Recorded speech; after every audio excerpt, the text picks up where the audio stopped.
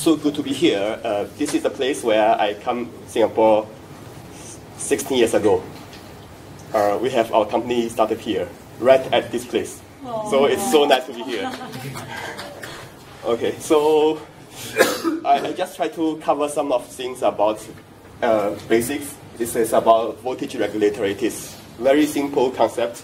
It's almost on every circuit board, but I, I just want to point off some of the uh, notes when you are designing your voltage regulator.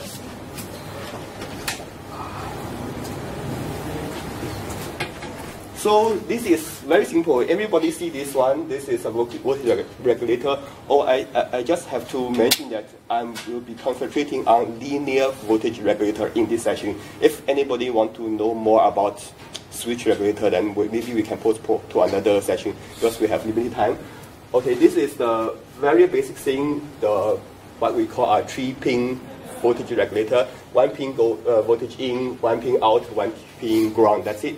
It looks very simple, and uh, but let's uh, cover some of the basic concept first. Then we look at how to choose a voltage regulator chip and how to design your voltage, voltage regulator.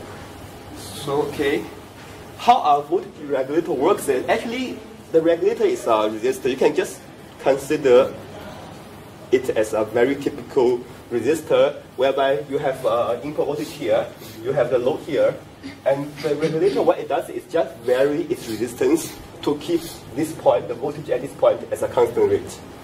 So it's, it's much simpler than you can think of. Uh, you, you, just ignore the GND uh, link, it's just a resistor. So what actually happens is, it's just like you have two tanks of water, and this, load is here, the water is drained, and this Mr. Regulator, he is just adjusting the valve to maintain this water level. So it, it is just, it's actually that simple.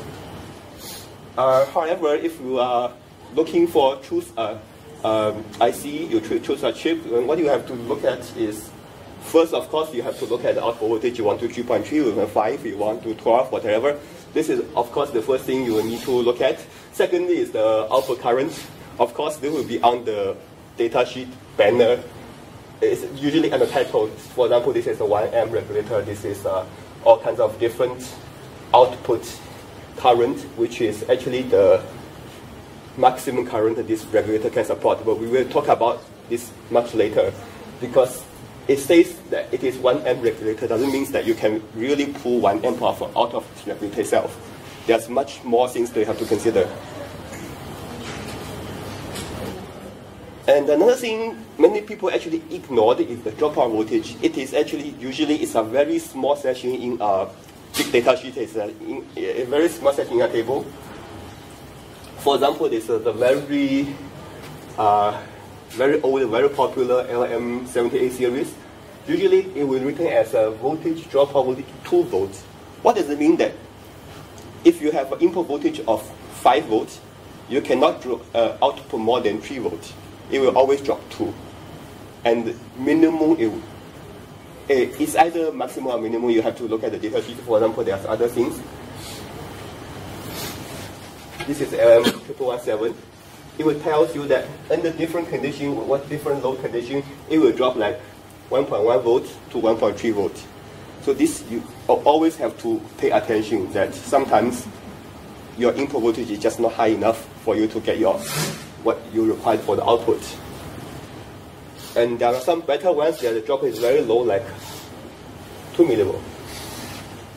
And there's all kinds of different regulators you have to you can choose, but usually for for the dropout which is less than one volt or about about about one volt, it's called a low dropout voltage regulator.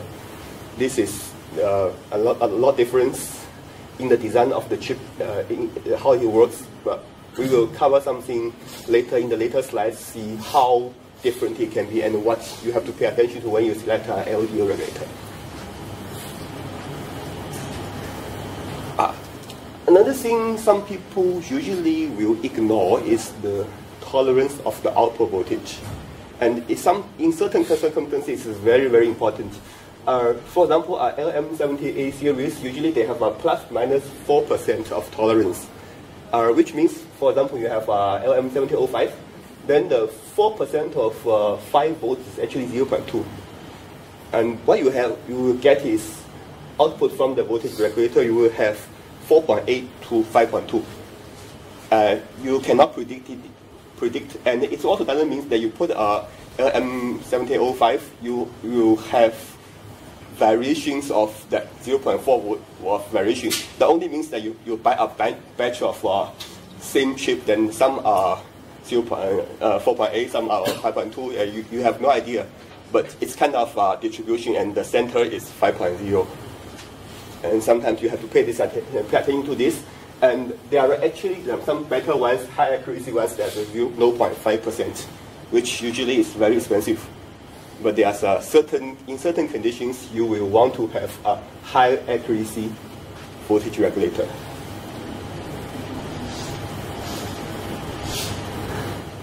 So we uh, talk about the output voltage. Then there are other things that will affect the output voltage, for example, temperature most of the time the temperature go up, the voltage either drop or, or rise. Uh, there's no guarantee. Uh, you see the, how the design works. And uh, there's this thing called load regulation, which is al almost always in the data sheet. And it tells us uh, what the output voltage will change depending on what kind of load you are putting on. Usually, the higher the load, the lower the output voltage. So you pull too much current from the regulator, the output voltage will drop. And usually it is, uh, it, it gives you as a percentage is how much percent variation space uh, over your nominal output voltage. And also there's another number in input. Uh, when your input voltage changes, the output also changes. We, we, just, we just follow. again, they will give a percentage like 1%. Uh, that means if your input have a 1 volt variation, then the output maybe have a 0.01 volt variation. And this all will show in the data sheet of uh, this particular chip. And of course, noise from the input also sometimes coupled to the output, depending on the different frequencies. These all contribute to the output voltage, but really, not all circuits will have some uh, bad influence, uh, will, will be influenced by the variation of the input voltage. But to a certain extent, sometimes there's a certain things that are very vulnerable to a supply voltage. For example, the most the most common thing is Arduino. Arduino has an ADC, and the ADC will use supply voltage as, as its reference. So if your input voltage has a 4% variation, then your output reading from the ADC will have 4% error. So sometimes you have to pay this uh, pay attention to this if you design some higher precision circuit. And, and this is very important, and this I, I think are wrong, and I think this is the only case that whereby the output voltage actually matters. But when it matters, the bad, the, the bad thing is that you cannot offset it. You, do, you cannot predict how much the input voltage variation, uh, variation is because there's temperature, there's load, everything will contribute to the output. Uh, you have to uh, pay attention to this. Okay, the other thing is a thermal consideration, and this is very important. Just now we say there's a 1 amp regulator. Do you really can pull out 1 amp from this chip? You have to do your calculation. For example, we have a very simple uh, diagram whereby we have uh, 8 volts in, 5 volts out. And at the 5 volt side, we have a 10 ohm resistor as a load. Okay, so Ohm's law, the output side, 5 volt over 10 ohm, you have 500 milliamp current go through, and the power will be 2.5 watts going from this resistor. This is output current, output power. And the input side, uh, the, the regulator itself will just consume some of the current by itself. Usually it is also in the data sheet, it's called quiescent current, or sometimes it's called GND current. So at the input side, you have 505, 505 milliamp input. Over 8 volts input voltage, that is 4.04 watts. And what's the difference? This is 1.54 watts of power actually become heat, come out from this regulator chip. So whether your this regulator chip can hold this kind of power uh, we have to do the calculation. You cannot just say this is doable or not doable. How to do that? Look at these two numbers in your data sheet. Uh, there's two numbers. Usually it's called thermal resistance. One is called junction to case. The other one is called junction to air. Uh, we talk about junction to air first. Junction to air means that the heat going from the silicon inside this chip to the air without the heat sink. So the unit is degree per watt. Uh, what it means that if there's number, this uh, junction to air is 65, that means if you have one watt of energy dissipated from this chip stand in the still air, the chip, the silicon inside this chip will rise by 65 degree. And this is rise by, which means if your ambient temperature is 25 degree, then you actually have a 90 degree inside the chip.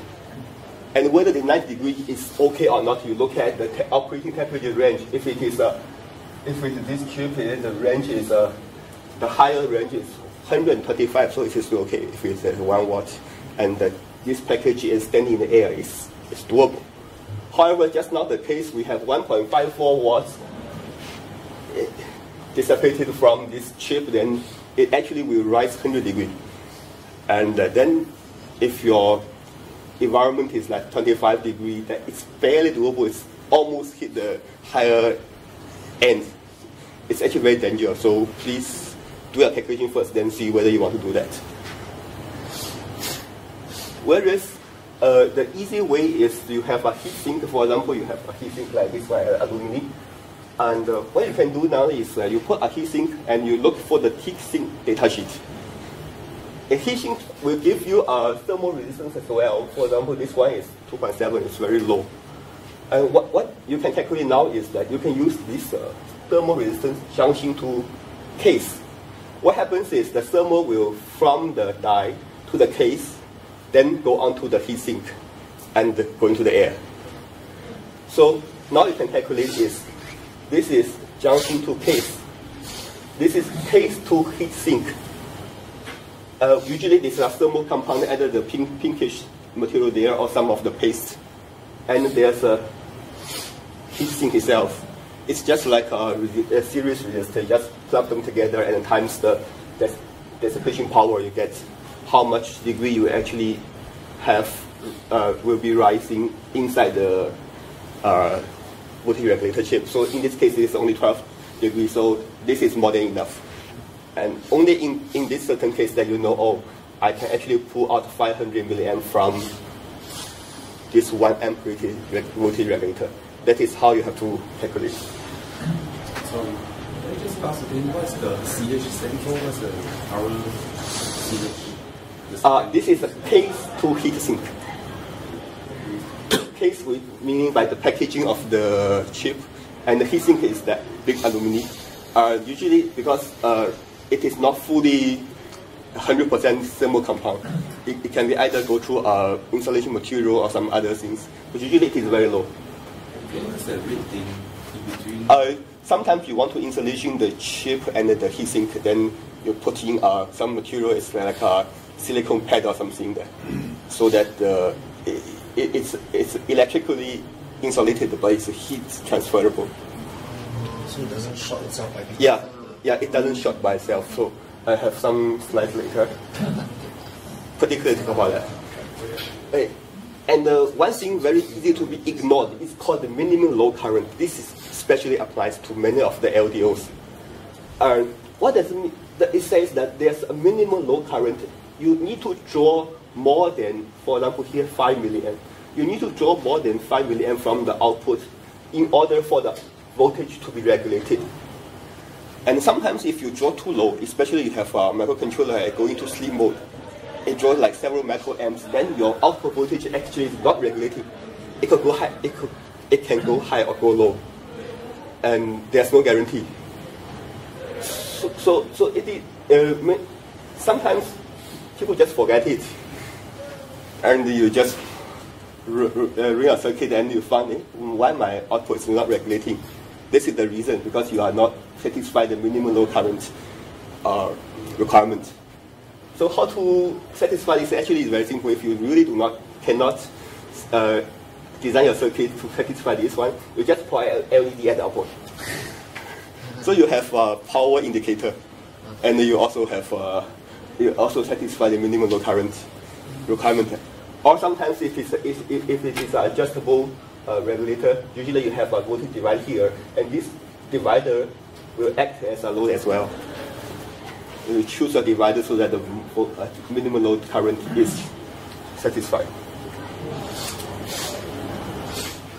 And uh, one more thing, especially to the LDOs, that is very important and because this is a mistake that always happens even into to some of the famous companies. And it is choose of the output capacitor. We always know that there's an output capacitor. And uh, how to choose the capacitance value, you have to look into data sheet. Normally there's uh, this paragraph inside here, in, inside the data sheet. And uh, for example, this one, it tells the minimum output capacitance required by the M217 is 10 microfarad. So if it gives you this value, you just use this value. But most importantly, it will tell you that the ESR of the output capacitor should be arranged between what to what. So where you got this number, you go to look for the capacitor data sheet and looking for the ESR. And here the value 3. And 3 is in between 0.3 to 22. Then it is usable. Otherwise, funny things will happen. So what funny things happen is this is uh, MLCC, multi-layer ceramic capacitor. It is cheap and it's very nice property. is small and it has a very high capacitance. But usually it has a very low ESR. It's like, for example, this one, 0 0.12, 0.01 to 0.1. It's very, very low. Uh, what happens when you put this on 777, your output will, uh, will have oscillation. Uh, I cannot guarantee it 100% oscillation, but under certain local circumstances, it will. And uh, there are several uh, bad cases, especially some of the uh, product by Dangerous Prototype hit by this problem. Uh, you can search internet, you find this, and they have to recall all the boards. Because of this, somebody put a ceramic capacitor instead of a tantalum. So if you really want to use a ceramic capacitor, how do you use? You put a series resistor here. you increase the ESR by yourself. This is one thing that you can do. Uh, the other thing, the other method is you're looking for a regulator, especially LDO, which is designed for stable with looking for ceramic capacitor. It's usually independent. Uh, many of the newer generations of LDOs, especially from uh, like linear or those uh, TI, they actually specified for use uh, ceramic output, which is much nicer but also much expensive. Okay, this is very important. Always check it out. Always check it out. So everybody will, I, I guarantee everybody will hit by this. I hit by this multiple times. the reason being that 78 series everybody use this one, everybody know, oh, this one is input, GND output, right? And uh, usually uh, the center pin is actually connected to the tab. The tab is GND as well. So you mount on a heat sink, you put on the, uh, on the case, very nicely done, right? But LM217, the, put, the pin out is different. The center pin is output and the tab is output. You put this thing, you, you screw onto the case, then you shut the output. And, and, and this is not only the case, uh, LM79 uh, series also reverse. So you just do not assume, always check. And uh, there's worst his. This is the RT9166. It's a very nice regulator. I always use this one. But looking at the different, there's a different part number, and it, it gives you a different pinout. so when you order, you have to check check your part numbers carefully this server. There's sometimes there's a uh, suffix L, then it's different here. Although it looks same, looks exactly the same. So please always check this.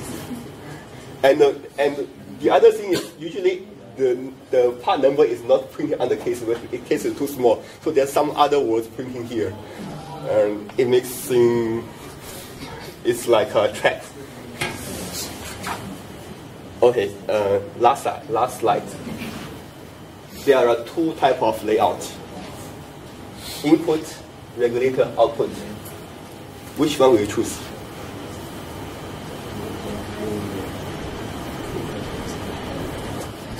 Looks very similar. Okay, I will choose this one. What, what is the reason? You have to understand the GND pin. The current flow through GND pin is only supplied for the regulator itself. It is not like two wire in, two wire out. So this thing is actually have very low current flow. You do not need to have a sick trace go inside. So, so this happens, and uh, and and because of here it is, it is a hole here, and all your current actually have to go through the hole, then come back. And sometimes the hole after some stress the hole become broken or something. You have problem. Of course, the better thing is like this. Input, output, the two ground put together, For ground plane be okay? much better. Okay. If you have a ground plane, which will be even better, but usually the best thing is you do like, you just forget about the schematic you will have to left side is input or right side is output. You forget about it. You do something like this. And uh, for all the things above, you can put a heat sink or whatever. Much, much easier and um, electrically it's much better. Uh, of course, another thing, put these two capacitors near the regulator itself. So these are, I think this is all I want to say about voltage regulator. Yes. Awesome. Thank you.